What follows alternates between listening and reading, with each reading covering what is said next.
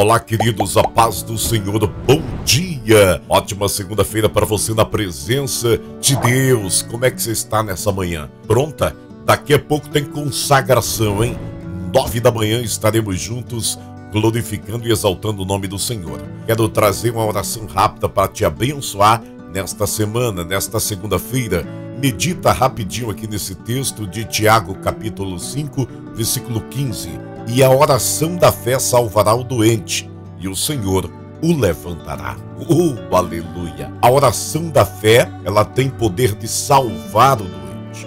E Deus levanta quando é feita esta oração em qualquer pessoa. Você já viu que muitas vezes aquela pessoa está moribunda, tomou remédios, medicou, fez de tudo e continuou ali, mas de repente recebeu a presença dos irmãos e eles oraram, fizeram imposição de mão, passaram óleo e com poucos minutos aquela pessoa se levantou, parecia que não tinha havido nada. Esta é a oração da fé. Deus ainda faz milagre e levanta. Diga, oh glória, creia tão somente que Deus vai te abençoar nessa oração agora. Senhor meu Deus e meu Pai, Criador dos céus e da terra, vai visitando essa pessoa, Deus, que está enferma agora, que precisa de uma cura real em sua vida. Deus, toque da cabeça à planta do pé, toda enfermidade desapareça toda tristeza, toda fadiga, todo cansaço, bata em retirada agora nesse momento destas pessoas, todo esse tipo de ação que está fazendo com que elas, meu Pai,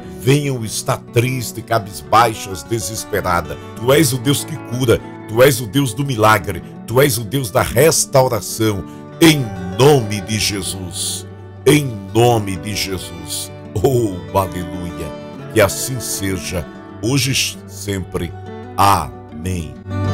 Diga glória a Deus. Excelente dia para você, na presença do Senhor. Daqui a pouco a gente vai estar na consagração nove da manhã. Te aguardo lá. Abraço do pastor Gilvan.